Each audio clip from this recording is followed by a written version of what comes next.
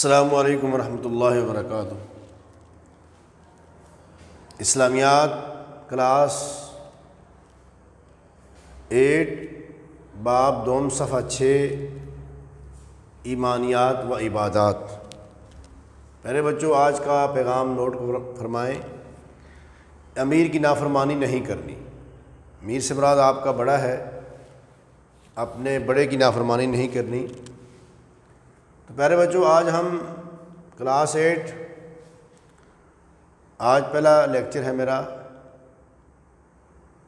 बाब दोम, ईमानियात व इबादात में से सबसे पहला पॉइंट है अकीदा।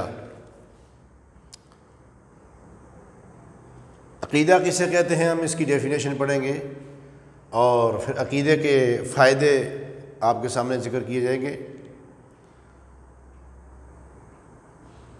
वो पुख्ता नज़रिया जो इंसान के दिल में, वो नज़रिया जो इंसान के दिल में पुख्ता बैठ जाए, उससे अकीदा कहते हैं।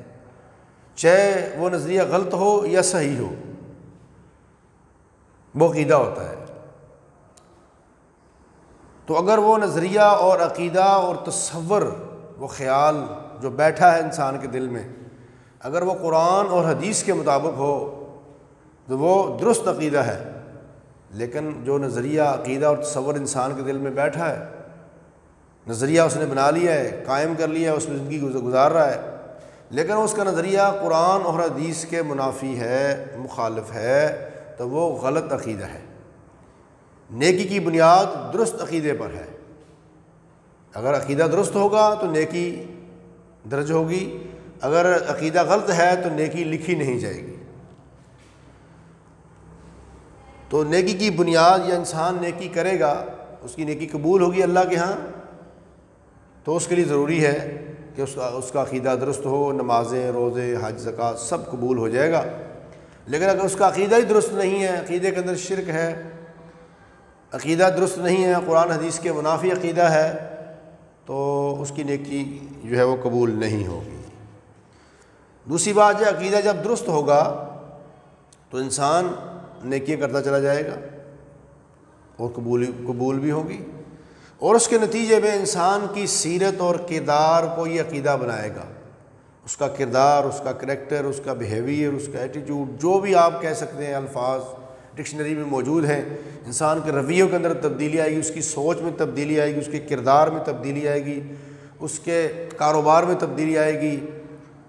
उसके लेलो नहार में, शब व रोज़ में, हर चीज़ के अंदर अकीदा इंसान को तब्दील करके रख देता है, अगर अकीदा दुरुस्त हो। तीसरी बात यह है कि इंसान के अंदर आला सिफात पैदा होती हैं दुरुस्त अकीदे की बुनियाद पर, कि इंसान बहादुर होगा, इंसान के अंदर शुजात पैदा होगी, सच्चाई पैदा होगी इशार व कुर्बानी होगी, और इंसाफ पैदा होगा। इसके साथ साथ चौथी बात यह है कि सही अकीदा जो है ना, एक सच्चा सहारा है और उम्मीद की किरण है कि मैं जो काम कर रहा हूँ, अच्छे नेक काम कर रहा हूँ, इसका मुझे अल्लाह क़्यामत को सिला ता फरमाएँगे। कब्र के अंदर आराम होगा, क़्यामत के दिन बहुत बड़ी घबराहट से महफूज हो जाऊँगा। अल्लाह के प्यारे नबी की शफात नसीब होगी। नाम अमाल तोले जाएँगे, वहाँ मेरे नाम अमाल वज़नी होंगे। अल्लाह के रसूल मेरी शफात करेंगे। शफात के बदले में मैं जन्नत में जाऊँगा। जन्नत के अंदर मुझे आला महल्लात मिलेंगे। दुनिया के दुख, तकलीफ़ें, परेशानियाँ सब दूर हो जाएँगी। तो ये अकीदा जो है इसी, ये एक सच्चा सहारा है।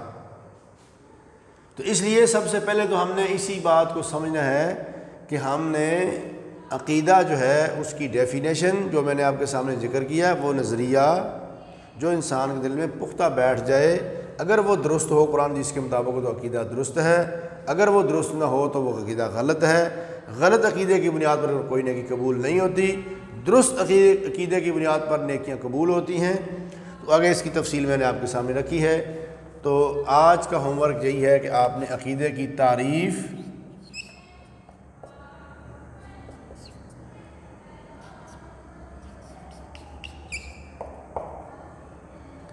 अकीदा की तारीफ़ लिखें और याद करें।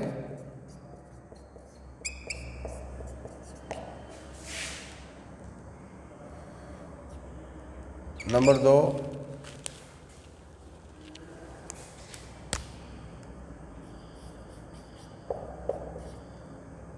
ईदे के दुरुस्त अकीदे के फ़ायद लिखे।